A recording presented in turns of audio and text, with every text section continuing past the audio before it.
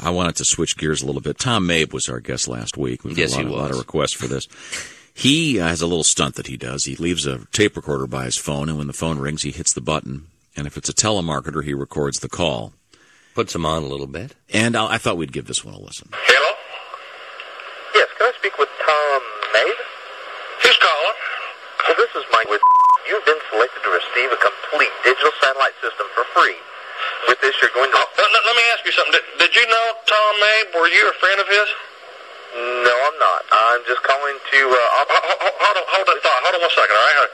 Hey, guys, get really good pictures of the body. Yeah, and dust everything down for prints. Thank you there? Yeah.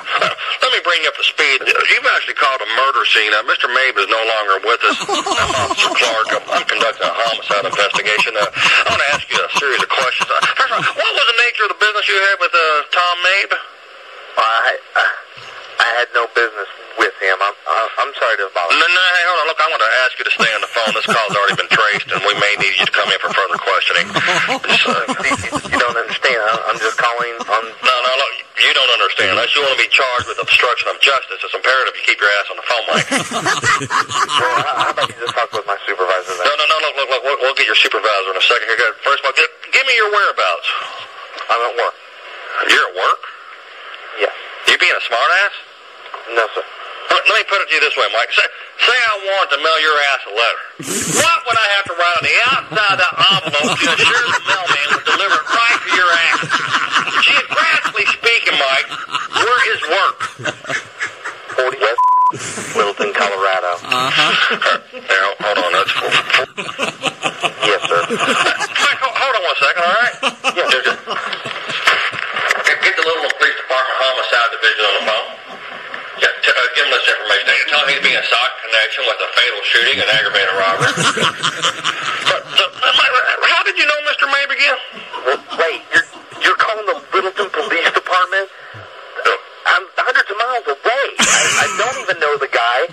I'm I'm in Colorado. No, don't, don't let that scare you. That's just a formality. I mean, have you ever been to his place of residence? No, All right, and tell, tell me again, where were you last night between the hours of 8 and 10? I'm not feeling real comfortable about any of this. Have you even ever spoken with Mr. Mabe, Mike? No, I haven't. I don't even know the guy. I've just, that's what I've been trying to tell Okay, you. okay, just calm down, calm down, hold on, look, just back up. I got one question for you, Mike. As you well know, I'm sure, Mr. Mabe was a flaming homosexual. There's no easy way of asking that. I don't want to embarrass you or nothing, but were you his gay lover? What? No.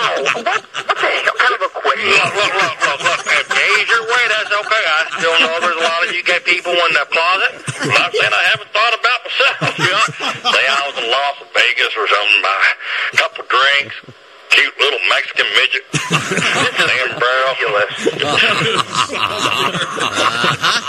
Um,